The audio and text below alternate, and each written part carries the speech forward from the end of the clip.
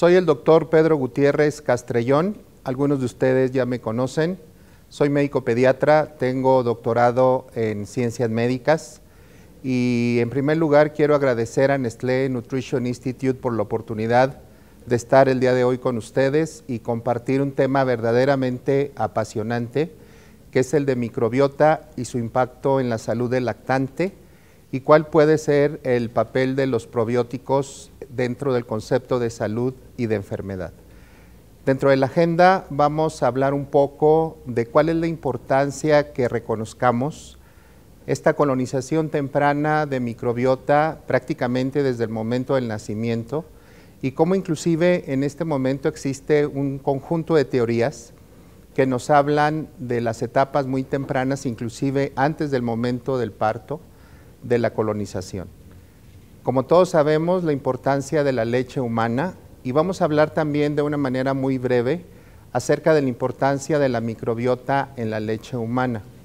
Vamos a puntualizar y vamos a conectar con dos elementos fundamentales para irnos desde la parte de investigación básica a la investigación clínica y los mensajes clínicos, hablando del concepto de eje cerebro-intestino-microbioma, que está tan de boga y que explica mucho, no solo del concepto de trastornos digestivos funcionales, sino inclusive todo este impactante y apasionante avenida de las neurociencias. Y concomitantemente con ello vamos a hablar de lo que es el papel de los probióticos y la inmunidad. Vamos a centrarnos posteriormente en la tercera parte de la charla en el impacto del lactobacilo reuteri y la salud digestiva, con énfasis en los trastornos digestivos funcionales del lactante. Y vamos a finalizar y vamos a redondear nuestro mensaje con el impacto de Bifidobacterium o B. lactis y su impacto en la inmunidad y en la prevención de las infecciones respiratorias. En primer lugar, les quiero declarar mis potenciales conflictos de intereses, ustedes los están viendo en la pantalla, y quisiera empezar de una manera muy importante puntualizando que desde hace ya unos buenos años el concepto de microbiota, el concepto de probióticos, el concepto de prebióticos ha venido representando un cambio radical de paradigma en el concepto de salud y de enfermedad. Todavía hace algunos años, en 2005, 2006, para no irnos tan atrás, hablábamos de este famoso momento del nacimiento, y cómo en ese, en, ese preciso instante el bebé establecía el primer contacto con todos los diferentes microorganismos a través del canal del parto. Fíjense en esta diapositiva, que es una diapositiva publicada muy recientemente, hace un par de meses, en la revista Italian Journal of Pediatrics, y que para fines prácticos resume lo que hemos venido platicando en los últimos tiempos donde prácticamente en el continuo de la vida, en estas ventanas de oportunidad, desde antes del embarazo, durante el embarazo, durante el momento del nacimiento, en los primeros momentos de la alimentación, ya sea con leche humana o algunas alternativas de alimentación y así sucesivamente, prácticamente el ser humano se encuentra en comunicación continua con los diferentes trillones de microorganismos que están en tubo digestivo, que están en la vía urinaria, que están en la vía respiratoria y que cada vez más los entendemos y los comprendemos como una parte importante del concepto de salud y de enfermedad. Mucho se ha dicho, mucho se ha discutido e inclusive todavía estamos en una gran controversia en qué momento realmente inicia el contacto de la microbiota con el ser humano. Y para no hacer un recuento muy largo, si ustedes se fijan en esta publicación, que es el producto de todo un camino que la doctora Kersti Agar y su grupo de colaboradores han venido desarrollando, en estas diferentes microfotografías bellísimas, empezando de la parte superior izquierda y moviéndonos hacia la derecha en la parte superior de la diapositiva, Fíjense que aunque hablemos del lado materno de la placenta, primera microfotografía de inmunofluorescencia, y luego nos vamos a la segunda microfotografía donde está el lado fetal de la placenta, y así sucesivamente nos vamos moviendo hasta llegar a las vellosidades coriónicas en el lado fetal. Fíjense cómo todos estos puntitos verdes fosforescentes nos hablan del contacto temprano que tiene el bebé, prácticamente desde las etapas mismas donde empieza el desarrollo placentario, en relación con lo que es el contacto con la microbiota. Mucho se ha discutido que si contaminación, que si quitoma, que si es la contaminación de los kits que nosotros utilizamos para hacer las diferentes investigaciones. Pero la verdad, y como se señala en la parte superior derecha e izquierda de la diapositiva, fíjense cómo en el primer recuadro superior izquierdo se encuentra lo que ocurriera si no hubiera contaminación a diferencia del segundo cuadrito que está inmediatamente a un lado a la derecha,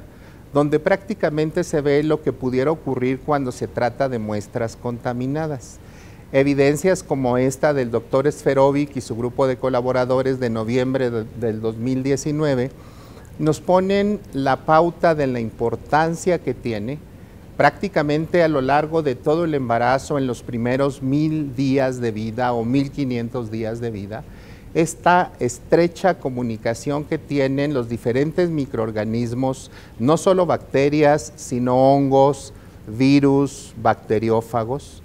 con el bebé en formación, posteriormente con el recién nacido, y cómo en ese sentido tan importante, cada vez más vamos entendiendo estas grandes diferencias que de pronto establecen la diferencia entre salud y enfermedad. Relativamente muy reciente, y cito nuevamente esta publicación de Italian Journal of Pediatrics, fíjense cómo hay una clara diferenciación entre lo que es la microbiota de un bebé que nace por vía vaginal versus un bebé que nace por vía cesárea. Ustedes lo están viendo en el primer gran conjunto de información, en el extremo izquierdo de la diapositiva, estos gráficos de caja y bigotes empiezan yendo de izquierda a derecha, primero los bebés que están nacidos por vía vaginal y luego inmediatamente su contraparte, la segunda gráfica, los que están nacidos por cesárea.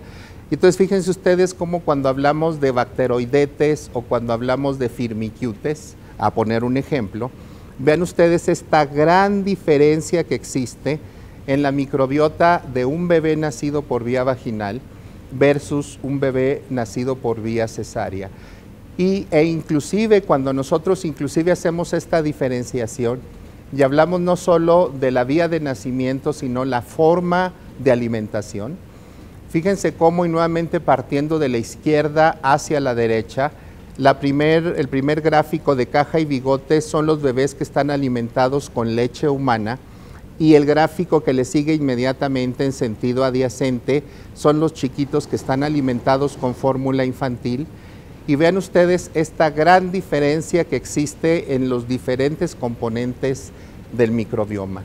De esa manera, cuando nosotros queremos precisamente establecer la relación entre el concepto de salud y de enfermedad, es muy importante, y este es el segundo mensaje muy importante de esta noche, que no solo tengamos en cuenta el papel de la microbiota en relación con las diferentes etapas de la vida, sino con la forma y la manera que los bebés pueden ser alimentados. Estudios adicionales como el que está aquí citado muy recientemente publicado en febrero de este año del doctor Din Leichi y su grupo de colaboradores, fíjense que viene y revoluciona el concepto de microbiota que ya habíamos venido aprendiendo y que de una otra manera a lo largo de las diferentes comunicaciones que hemos tenido con ustedes, hemos empezado a hablar no solo de bacterioma, hemos empezado a hablar no solo de viroma o del papel de los bacteriófagos. Entonces fíjense ustedes cómo lo que aquí estamos graficando es el perfil de micoma que tiene una leche temprana o una leche transitoria y lo que puede tener del perfil completamente diferente. Fíjense ustedes los diferentes colores, donde predomina de manera muy importante el color naranja en la primera diapositiva y cómo en la, segundo, en la segunda parte de la diapositiva predomina el color azul y el color amarillo y que de una otra manera representan este cambio dinámico que la leche va teniendo ahora ya no solo en oligosacáridos de leche humana, ya no solo en bacterioma, sino inclusive en micoma, y que inclusive cuando nosotros nos vamos y hacemos una diferenciación muy importante, y nuevamente moviéndonos del extremo izquierdo al extremo derecho,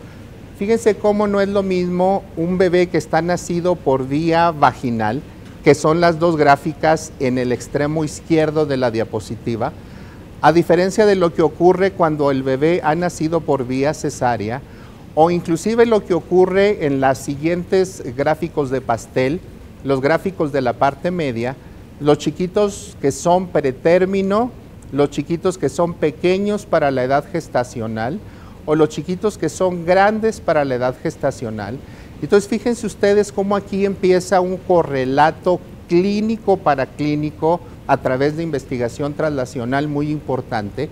donde nos estamos dando cuenta cómo estos perfiles diferenciados, ya no solo de bacterias, ya no solo de virus, ya no solo de bacteriófagos, sino inclusive de hongos presentes dentro del micoma de la leche humana, pueden empezarse a relacionar de manera muy importante con el concepto de salud y de enfermedad.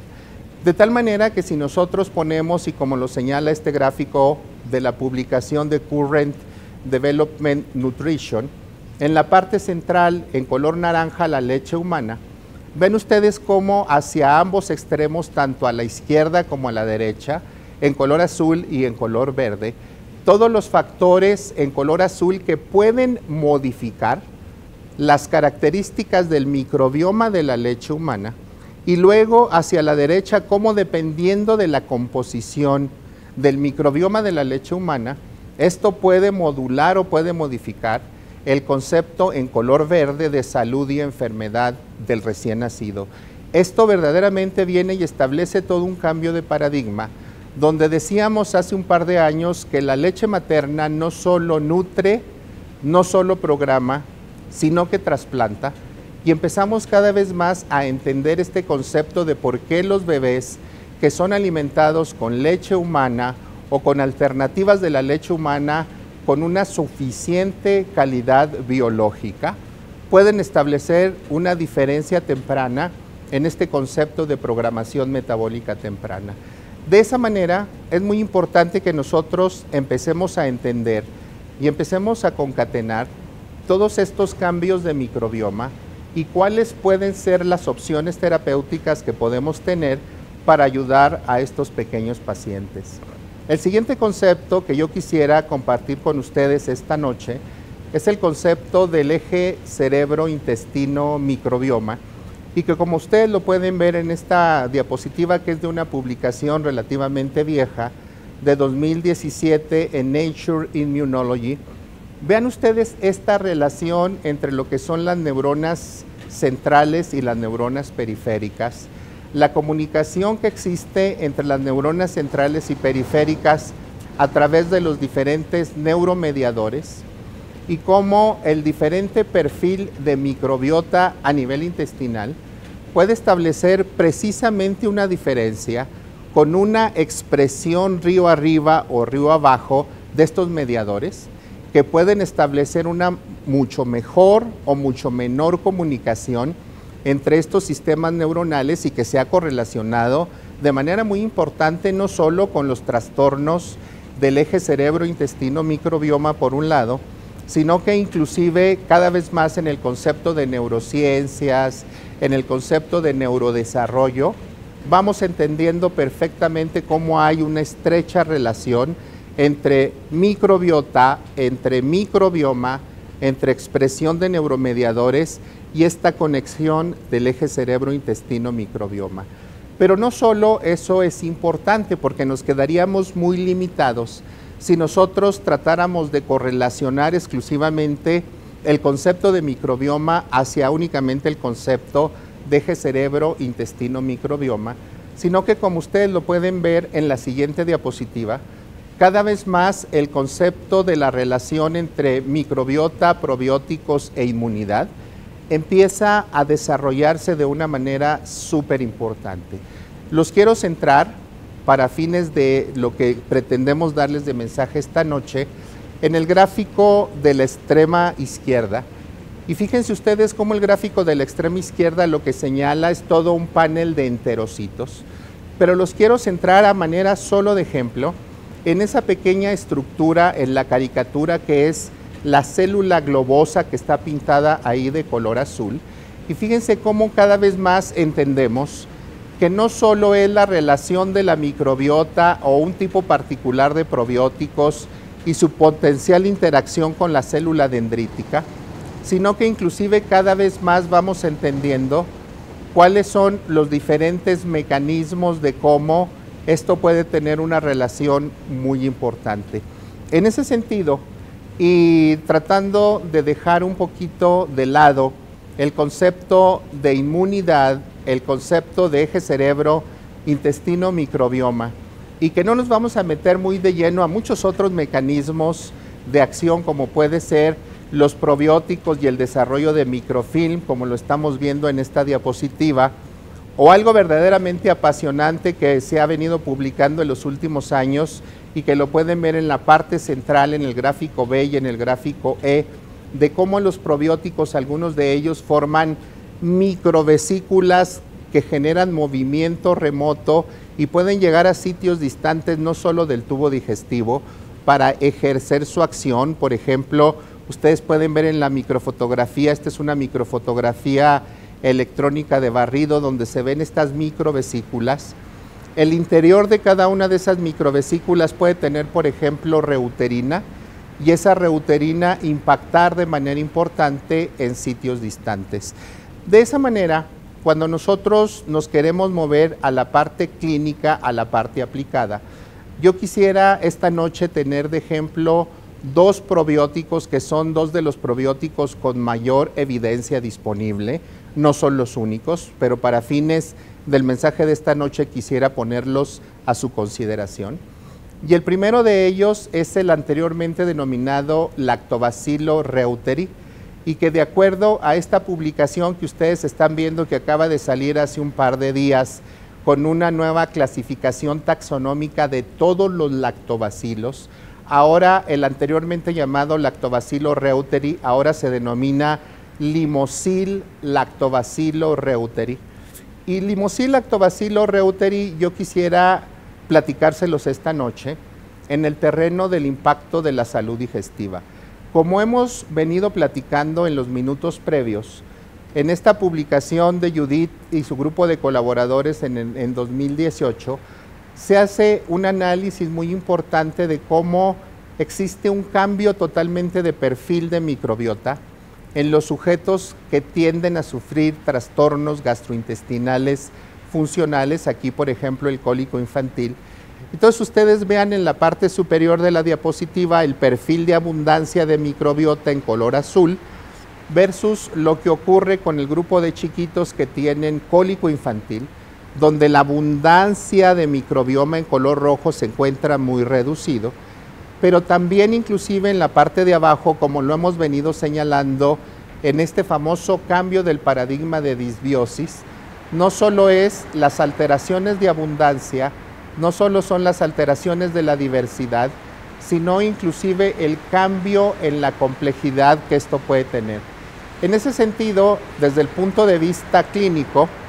vean ustedes desde, desde el punto de vista de algunos ensayos clínicos,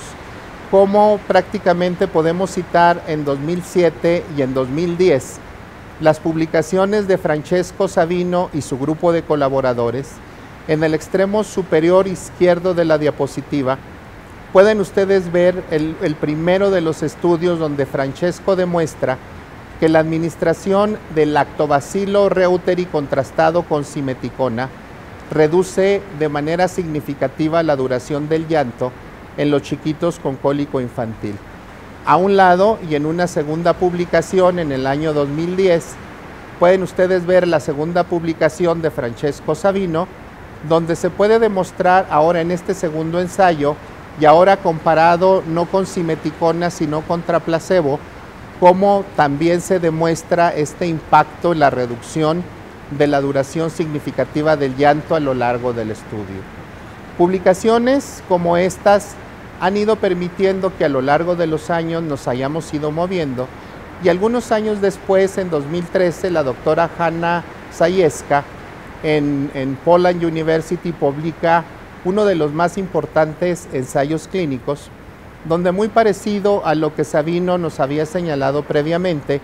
ella demuestra en chiquitos con cólico que cuando se administra limosil lactobacillus reuteri DSM 17938 en dosis de 10 a la 8 unidades formadoras de colonias, de manera muy parecida a las evidencias previas, demuestra también la reducción significativa del llanto. Así, a lo largo de los años, en 2015, en 2016 y así sucesivamente, se fueron generando un conjunto de evidencias adicionales que cuando nosotros tuvimos la oportunidad hace un par de años de colocarlas en una revisión sistemática con metaanálisis, demostramos, y ustedes lo pueden ver en la parte central de este metaanálisis, en el rombo que está en la parte inferior de la parte central, cómo se demuestra que teniendo en cuenta todas las publicaciones con su diferente valor de impacto, al final del día, tanto desde el punto de vista clínico como desde el punto de vista estadístico, se demuestra un impacto significativo. Sin embargo, a lo largo de los años y posteriormente a esa publicación, surgieron algunas dudas acerca de, primero que nada, de si era lo mismo en niños alimentados con pecho materno o en niños alimentados con fórmula infantil. Y al final del día, muy recientemente, hace un año, un año y medio, la doctora Valerie Song y su grupo de colaboradores publicaron en Pediatrics este IPD metaanálisis donde se demuestra de manera fehaciente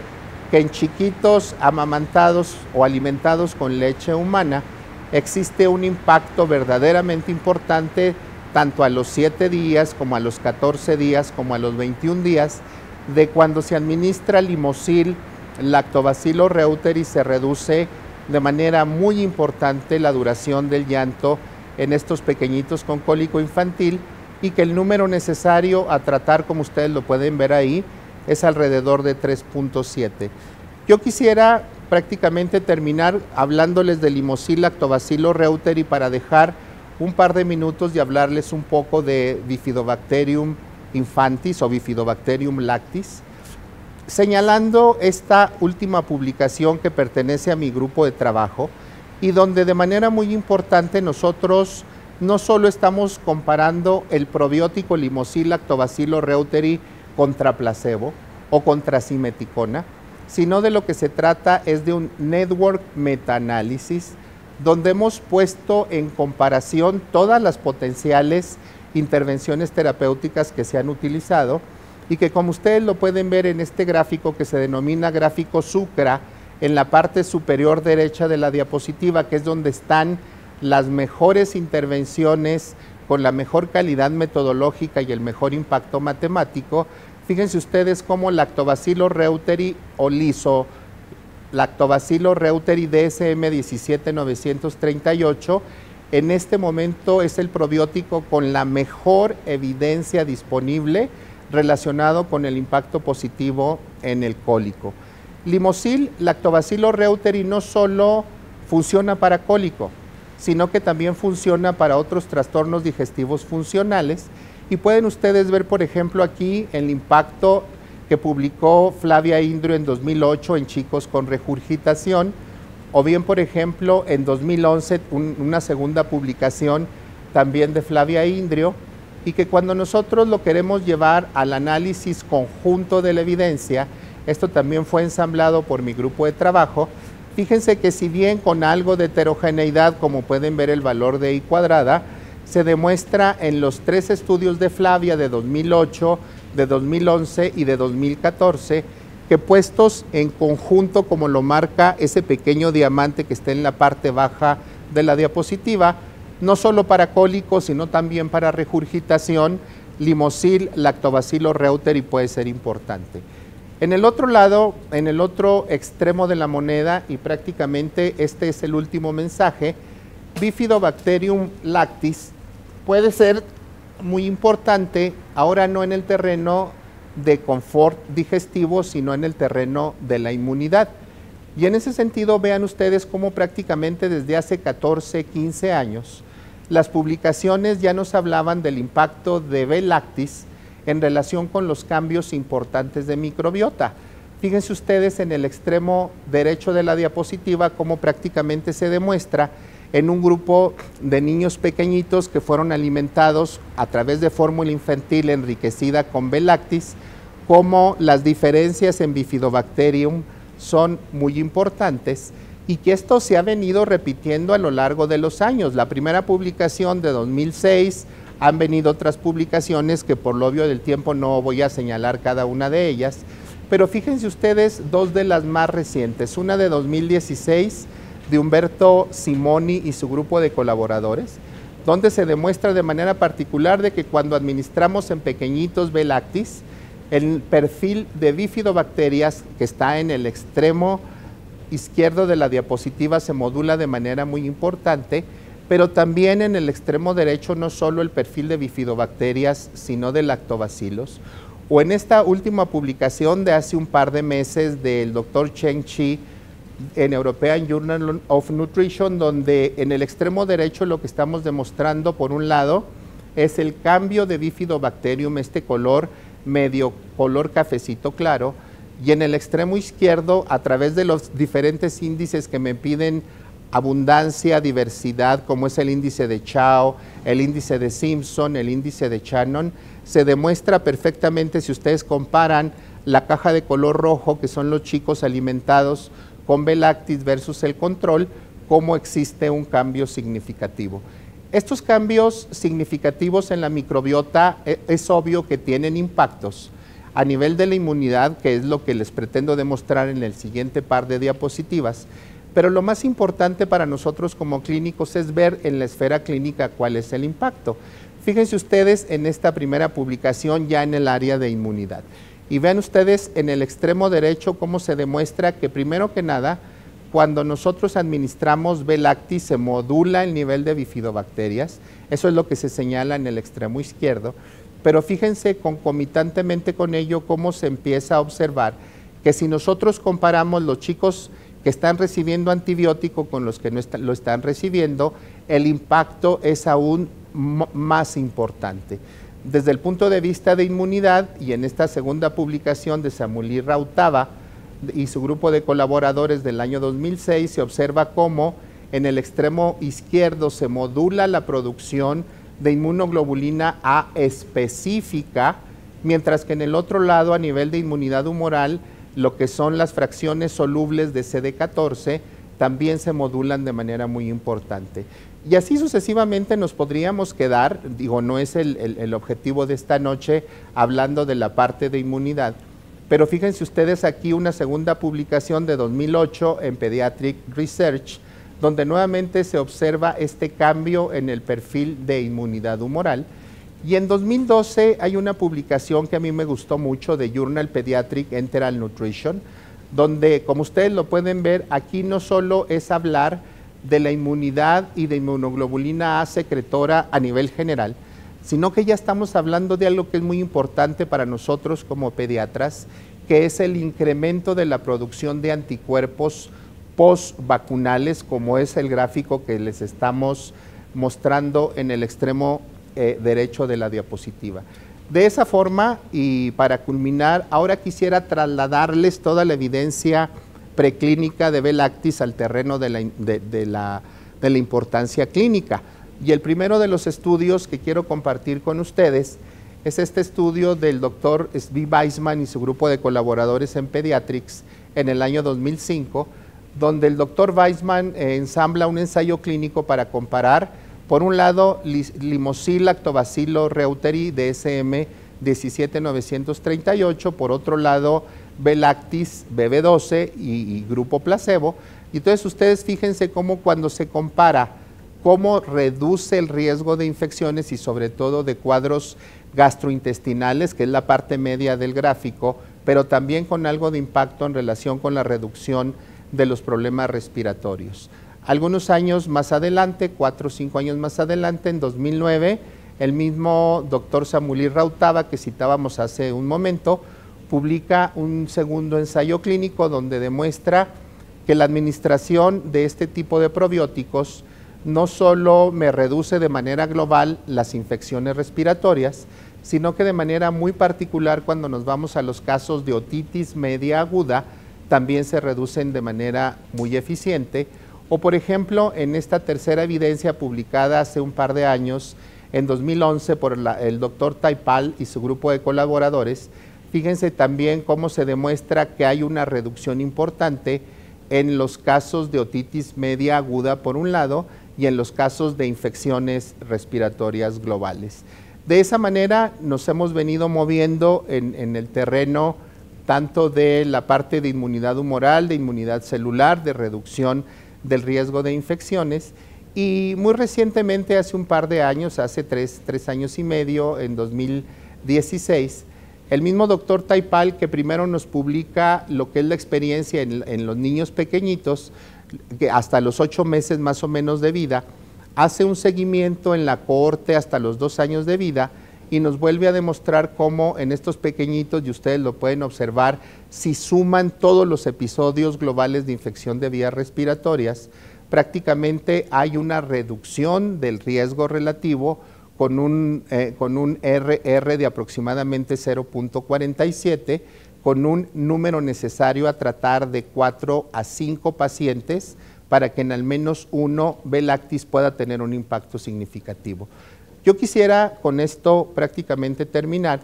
y someter a su consideración cómo en los últimos años, muy parecido a como lo hicimos con cólico infantil, nosotros tomamos muy recientemente la doctora Silvia Cruchet, el doctor Svi Weisman y su servidor, todas las evidencias que se han venido publicando acerca de cuál es la utilidad de probióticos para mejorar la inmunidad y por lo tanto reducir el riesgo de infecciones. Este es un segundo network metaanálisis y que al final del día ustedes pueden ver cuando se evalúa la calidad de la evidencia donde prácticamente el 90% de los artículos que fueron incorporados en esta publicación tienen de muy buena a buena calidad de la evidencia y que al final del día nuevamente eh, les presento un gráfico Sucra, ahora los quiero centrar en el extremo superior izquierdo de la diapositiva, donde ustedes pueden ver una equivalencia terapéutica muy importante entre limosil lactobacilo reuteri en color amarillito, entre lactobacilo rhamnosus GG en color azul en la parte superior izquierda y en color verde B. lactis y sobre todo la cepa eh, BB12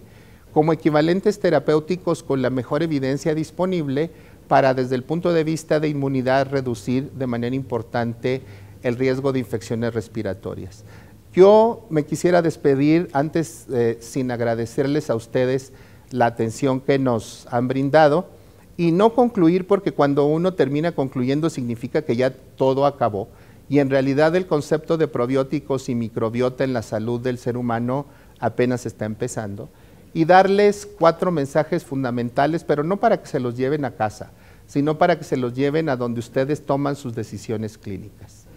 Microbiota, microbioma y el contacto del ser humano con ellos empieza desde las etapas bien tempranas de la vida.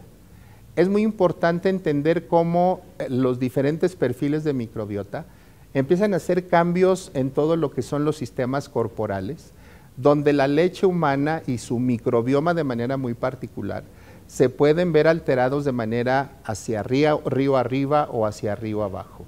Es muy importante analizar de manera muy contundente y con rigor científico las evidencias que tenemos disponibles y hoy por hoy se demuestra que limosil lactobacilo reuteri DSM 17938 es una de las cepas probióticas mucho mejor estudiadas que impacta el concepto de salud digestiva. Y por el otro lado, B-lactis y sobre todo su cepa BB12 impacta significativamente en la inmunidad y reduce de manera importante las infecciones en los niños pequeños, particularmente las infecciones respiratorias. Bien, me comentan que antes de, de despedirnos hay unas preguntas de la audiencia. Voy a empezar leyendo algunas de ellas que parecen ser las más importantes. La primera,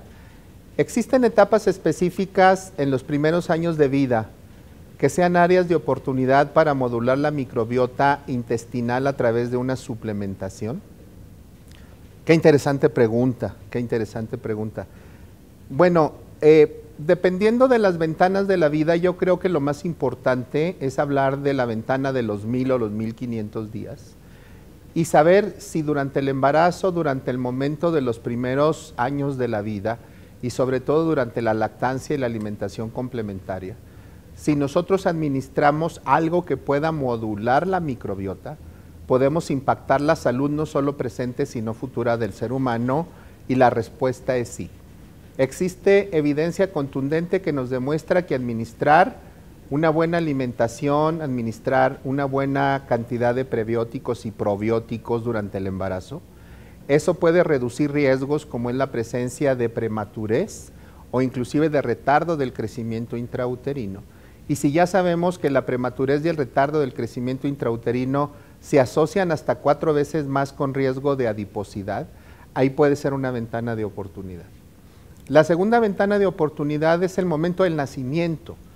Desafortunadamente en este momento prácticamente alrededor del mundo una gran proporción de chicos nacen por vía cesárea. México no es la excepción, se dice que hasta 70% de los chicos, y esto es más a nivel privado, nacen por vía cesárea. Y ya decíamos hace un momento que la cesárea modula de manera tremenda la microbiota. Los chicos que nacen por vía cesárea es una segunda ventana de oportunidad donde a través de la administración temprana, aunque estén recibiendo leche humana, pudieran ser beneficiados. La tercera ventana de oportunidad es el chico que ya está recibiendo o leche humana o fórmula infantil. Y entonces en ese sentido el suplementar con un probiótico, seguro, basado en la evidencia, con la mejor evidencia disponible, puede ayudar no solo a la salud digestiva, como ya lo vimos, puede ayudar no solo a modular la inmunidad, sino que cada vez existe evidencia mucho más importante que también puede afectar otras esferas, inclusive como el neurodesarrollo. Y la cuarta ventana de oportunidad es cuando el chico empieza la alimentación complementaria. A través de todo este cambio de paradigma de alimentación complementaria epigenética, cada vez entendemos más cómo la complementación durante la alimentación con este tipo de intervenciones pueden hacer una gran diferencia. Vamos a la siguiente pregunta, por favor. La siguiente pregunta se las comparto a ustedes. La suplementación también está recomendada para pacientes que reciben lactancia materna exclusiva, ya lo había yo platicado un poquito, sin embargo lo voy a volver a puntualizar. Así como hablábamos de que la leche materna nutre, programa y trasplanta, así ahora sabemos que a diferencia de lo, que decíamos hace algunos años, de que todas las leches maternas eran iguales, ahora sabemos que, por ejemplo, cuando hablamos de oligosacáridos de leche humana o HMO, hay de perfiles a perfiles de leche humana en cuanto a su composición de human milk oligosaccharide. Lo mismo sucede con microbiota y ya lo veíamos hace un momento, hay tremendas variaciones de bacterioma, de micoma, de viroma en la leche humana, de tal manera que es muy importante, o inclusive cuando las mamás cursan con mastitis, la mastitis modula tremendamente el microbioma de la leche humana, donde de pronto hay cierto tipo de disbiosis. Entonces, aunque el bebé esté recibiendo leche humana, nosotros podemos beneficiarlo con la administración de este tipo de intervención. La tercera pregunta, por último, digo, se nos está terminando el tiempo, entonces nos vamos a la tercera pregunta. ¿Existe alguna contraindicación o algún evento adverso asociado al uso de probióticos? Es muy importante esta pregunta y también es muy importante que ustedes recuerden siempre el concepto de un probiótico GRAS. Un probiótico GRAS es aquel probiótico que tiene un sello FDA en Estados Unidos, EMEA en Europa y por las diferentes instancias regulatorias en las diferentes regiones del mundo, donde está validado por un conjunto de estudios de seguridad que precisamente llevan a que los eventos adversos que se han estudiado prácticamente son mínimos muy parecidos a los que recibieron placebo o son inexistentes. Y vuelvo nuevamente a señalar el concepto de probiótico específico, dosis específico, frecuencia específica para condiciones específicas porque desafortunadamente algunos probióticos, sobre todo en niños muy prematuros o multiinvadidos, se han asociado casos esporádicos por ejemplo, con bacteremia o con septicemia. No es el caso de los dos probióticos que hablamos hace un momento, como son Limosil lactobacillus reuteri y Bacillus lactis o Bifidobacterium lactis en ese sentido. De tal manera que nos podemos sentir seguros desde el punto de vista de no contraindicaciones o de potenciales eventos adversos. Desafortunadamente se nos termina el tiempo. Yo quisiera agradecerles nuevamente por la oportunidad de habernos permitido estar con ustedes. A nombre de Nestlé Nutrition Institute, a nombre de un servidor, les agradezco infinitamente su atención. Manténganse en salud y espero verlos muy pronto. Muchas gracias.